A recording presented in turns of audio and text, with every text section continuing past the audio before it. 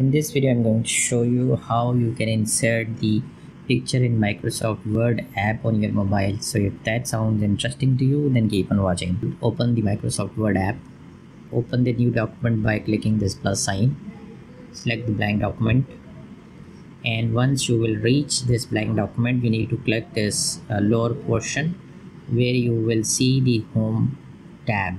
You need to click this home button and in the pop-up menu you need to select insert. So this will bring the insert tab options um, on your screen. The third option is pictures. Click that. And from here you will have two options. You can either use your camera to take a new picture or you can press the photos to uh, browse your gallery to insert a picture. So i've just taken a picture from my uh, mobile and i'm just going to insert that. So now your picture has been inserted. Now what you can do is that you can drag these bars to increase the size of the picture.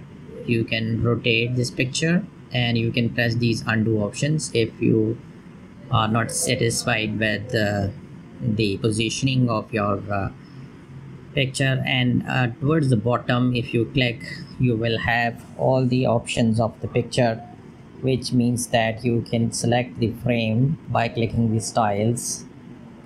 And you can click the picture effects to draw the shadow reflection and even you will have the wrap text options available so you can arrange the picture by bringing it front or back so this is how you can insert a picture in microsoft word app from your mobile Thank you for watching this video till the end. If you like this video, hit the like button, share and subscribe.